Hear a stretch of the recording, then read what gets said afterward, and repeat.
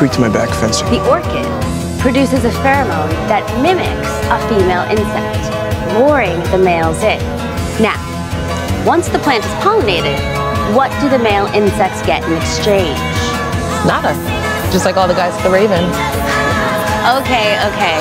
I know you're all excited about Saturday, which is why I haven't assigned any homework. But I do still need volunteers for the decorating committee. Anyone interested, come and see me up here. What, you're not gonna volunteer?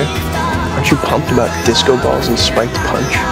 There's even a DJ, MC Bloodsuckers. I'd rather stick needles in my eyes. I'll probably do that anyway. Or you could invite someone and have a little fun.